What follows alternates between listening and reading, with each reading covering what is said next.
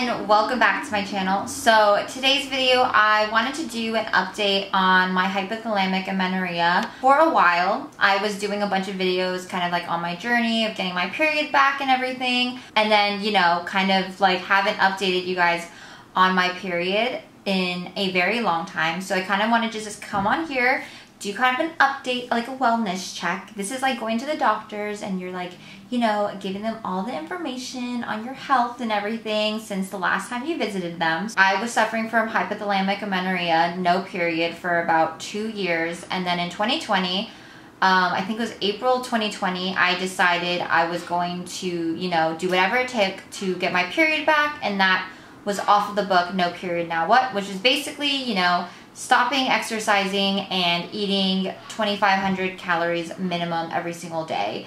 I did that and miraculously I got my period within a month, which was amazing.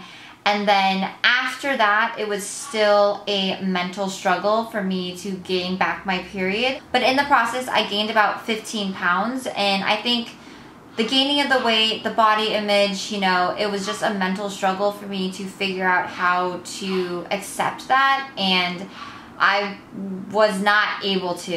And I kind of reverted back to my old ways, went back to dieting, lost my period again. And ever since then, I'd say it's definitely just been a journey for me to gain back my period, trying to just figure it out. I went through so many different things like try like trial and error like what's the lowest weight I could possibly be? Still getting back my period and all that stuff and sometimes just looking back those videos I totally understand what I was trying to do but um, I guess at one point I was just I, I'm just at this point in my life where I'm just like your health's honestly the most important thing and your period you know having a normal cycle is one of the signs of like health and like making sure your body's working functionally and if that's not working functionally you know that means there's something off. Whatever it is you need to figure it out. So then approaching my wedding day i definitely went back to dieting. You know it was my wedding day and i was trying to look good for my pictures and all the events going on and fitting into my dress so I definitely did go down a hardcore diet um, January, February, and half of March, I'd say. My wedding was in April. And January, February, and March, I lost, I didn't get a period at all. And I remember midway through March, I just got so fed up. I think I was just so hungry and just sick of, you know, dieting and everything and restricting my calories and eating just to look a certain way. And I think naturally my body just didn't want to be that skinny. I was like 110 pounds and working out, you know, constantly. Obviously not great for my health. Obviously I knew exactly what I was doing, but I was like, you know what, this is just for my wedding. Like I can, you know, just do this blip of a, you know, bad thing for my health just for photos, which honestly just sounds so stupid. But, you know, it is what it is. It's in the past. So I would say March I got kind of fed up and I was like, you know what, whatever. So I started like still working out, but I started just eating, you know, more freely and not restricting my calories. I definitely gained like some weight, probably like five pounds. So I was definitely heavier during my wedding that I would have liked to have been. Um, and my dress was actually a little tight. I do remember that. Midway through March is when I kind of gave up, started eating, gaining some weight. And then right before my wedding, I got my period. So that was right around like April, maybe 12th or something. And I was like, great, I got my period out of the way. So when I go on my travels, I'm not gonna have to worry about it. Amazing. On my trip, I wasn't working out at all. I wasn't, you know, I was just eating everything and anything. Like the food in Portugal and Italy was amazing definitely wasn't going to be the time to deprive myself and you know at that point i was like you know what i'm past like i'm past my wedding i can eat whatever i want now so from there, I think exactly four weeks from my period, um, right before my wedding, I got my second period.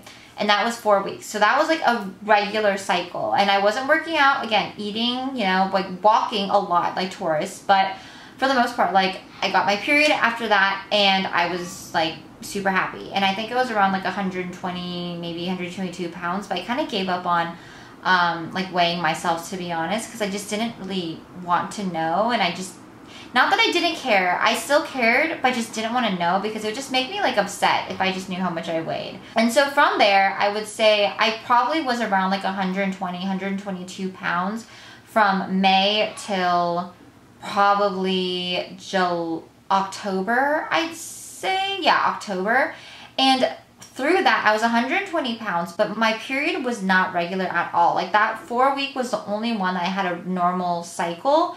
And then after that, it was like eight weeks, seven weeks, sometimes six weeks. I wasn't dieting at all. I wasn't um, like working out like an extreme amount. I was doing weights, and that's when I just cut out the weights. And I still was not getting a normal period in terms of like the cycle being four weeks. And that was my like ultimate goal because I was still getting my period, but it just wasn't on the cycle that I wanted it to be. Again, like six, seven, sometimes eight weeks. So fast forward August, I started transitioning over to a vegan diet and I did start losing a little bit of weight, but again, my periods were still irregular, so I didn't think it was like a diet thing. And fast forward to now, I weigh about 112, 113 pounds.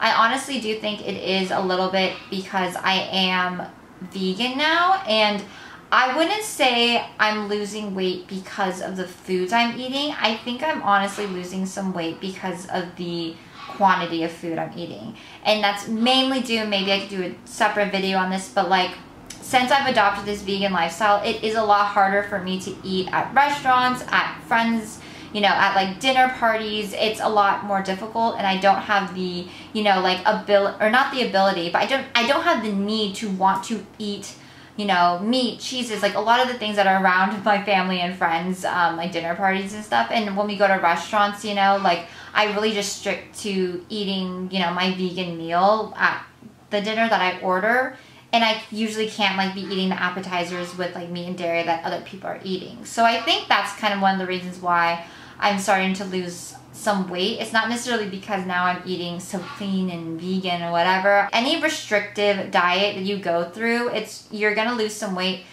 just by the fact that you can't eat a lot of other things, just by like the process of elimination. So, but I will say I've been at this weight probably for about two to three months and I've gotten my period consecutively at six and a half weeks.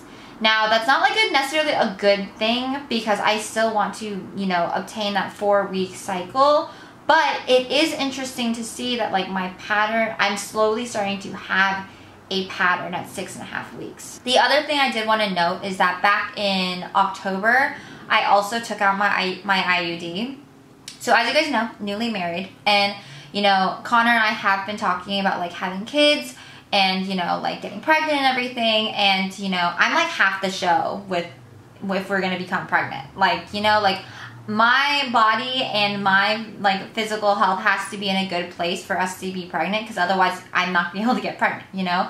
So that kind of like really has been a like a really driving force for me to really figure out my period situation. 2019, I got Paragard, which is the IUD that has non-hormones because I was just, you know, I just don't want to put hormones in my body. I, that's why I went off the pill. Um, and so Paragard was the best option in terms of making sure I wasn't able to get pregnant, but it wasn't like messing up with my like mental or my mental, mental too, but like my hormonal health. Right now, I do not have any form of birth control. So there's nothing really that I can think of as being an outlier. Um, for me not getting my period on a regular cycle outside of, you know, my physical health at first I thought, you know, like who knows if Paragard was like impacting it, but I honestly didn't think it was. And now that it's fully out, I can confidently say that like now it's all up to me to figure out like what I need to do to like get my period on a cycle. Now, I'm sure the other question people are gonna have is like, did you talk to your doctor? Have you like talked to like a professional about this?